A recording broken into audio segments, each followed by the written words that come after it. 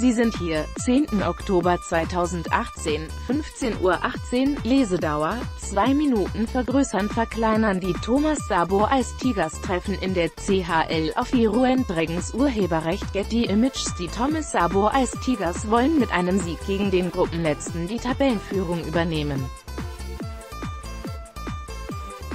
Sport ein überträgt das CHL-Duell live im TV und Stream. Zwei Spieltage vor dem Ende der Gruppenphase in der CHL haben die Thomas Sabo Ice Tigers noch immer den Gruppensieg vor Augen. In der Gruppe F liegen die Franken nur einen Punkt hinter Spitzenreiter Kerpit aus Finnland.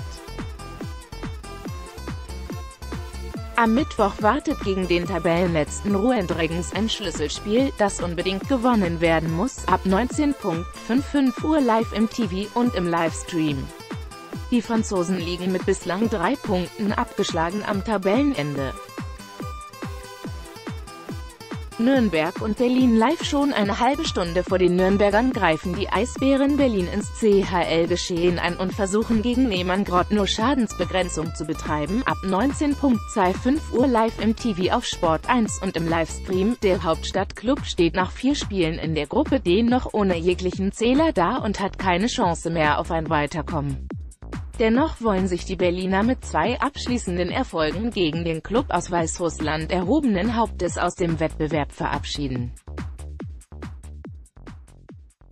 So können Sie die CHL live auf Sport 1 verfolgen. Sport 1 wird die Champions Hockey League auch in ihrer fünften Saison ausgiebig begleiten.